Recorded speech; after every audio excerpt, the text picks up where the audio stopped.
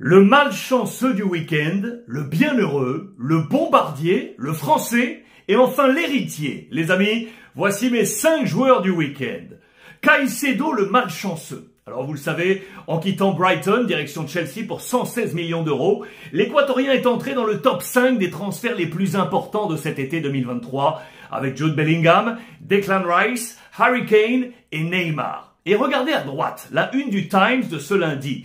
Tous les yeux étaient rivés sur lui, à son entrée en jeu sur la pelouse de West Ham, à la 61e minute, à la place de Ben Chilwell, de la main de Mauricio Pochettino, son nouveau coach. La bulle, type bande dessinée, nous dit « Ok Moïse, tu es l'un des plus gros transferts de l'histoire de la Première Ligue, maintenant montre-nous ce que tu peux faire. » Et le titre juste en dessous.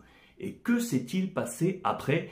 Eh bien, c'est lui le malheureux. C'est lui qui commet cette faute. Regardez sur Emerson qui offre un penalty à West Ham. Le penalty est transformé par Lucas Paqueta, l'ancien de l'Olympique lyonnais, ici à la une, sous le regard désabusé. Regardez juste derrière, désabusé de Caicedo. C'est la deuxième fois dans l'histoire des Blues qu'un débutant provoque un penalty en première ligue. Ce n'est qu'une anecdote, mais regardez, le premier c'était lui, Wayne Bridge, en août 2003 face à Liverpool, il y a 20 Wayne Bridge, pour ceux peut-être qui s'en souviennent, évoluait avec euh, John Terry ou encore les Français Claude Makelele et Emmanuel Petit.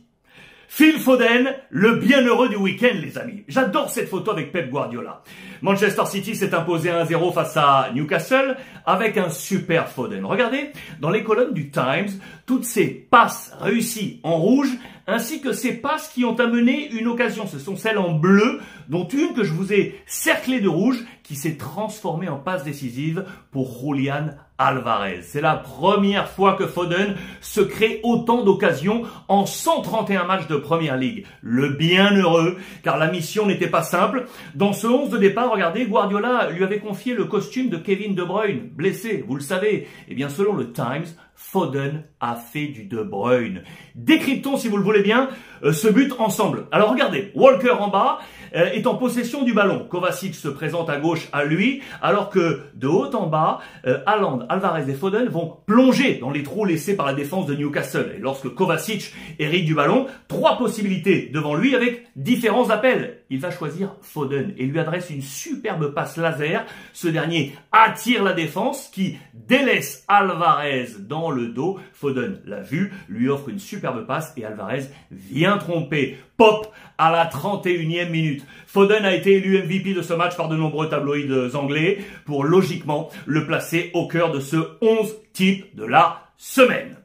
Le bombardier du week-end, ou plutôt les bombardiers du week-end. Les amis, la Gazzetta dello Sport a proposé ce lundi un comparatif entre les meilleurs buteurs européens sur l'année civile 2023. Cumulé, on est d'accord. Hein Selon les chiffres, les rois d'Europe, buteurs, tous les deux d'ailleurs ce week-end, sont Lotaro Martinez de l'Inter et Osimhen du Napoli devant Kylian Mbappé, Haaland et Harry Kane. Voici les chiffres. Avec 16 buts en 24 matchs en 2023, Lotaro Martinez présente un ratio de 1 but toutes les 89.81 minutes. Osimhen affiche lui un ratio de 92,58 avec 19 buts en 22 matchs. Derrière, troisième, Kylian Mbappé, buteur ce week-end sur penalty pour le nul 1 but partout du Paris Saint-Germain à Toulouse, ratio 95.59, 17 buts en 20 matchs. Haaland n'a pas marqué, mais il est logiquement là avec ce ratio de 101.47 et 17 buts en 22 matchs. Quant à Harry Kane, il a marqué ce week-end avec sa nouvelle équipe, le Bayern, et en cumulant ses chiffres avec Tottenham sur 2023, eh bien 18 buts en 23 matchs pour un ratio de 114.67. La bataille des buteurs ne fait que commencer. Le français du week-end, pour moi, c'est Benjamin Pavard, les amis, car il incarne un mercato encore très mouvant et indécis. Pour la Gazzetta dello Sport, Zang, le président de l'Inter, aurait proposé 28 millions d'euros. Le Corriere parle de 33 avec bonus, alors que les Bavarois du Bayern en voudraient 35. Le français aux 49 sélections pour 3 buts qui n'est pas dans les plans de Thomas Tuchel, a bondi sur l'intérêt manifesté par la formation de Inzaghi. D'ailleurs, voici comment il s'inscrirait dans le 11 du coach de l'Inter, dans une défense à 3, avec Acerbi, vous le voyez, et Bastoni. Le Corriere de rajouter en titre, la fumée blanche n'est pas loin.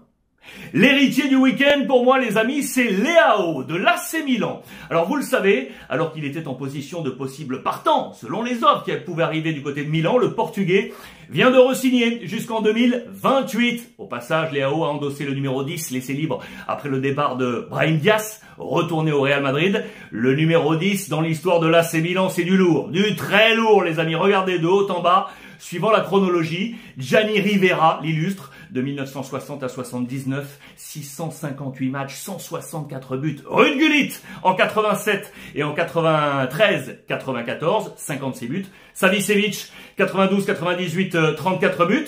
Zvonimir Boban euh, saison 92-2001, 30 buts. Et enfin Clarence Sedorf de 2002 à 2012, 10 ans avec 62 buts. Le poids est désormais sur les épaules de l'ancien Lillois.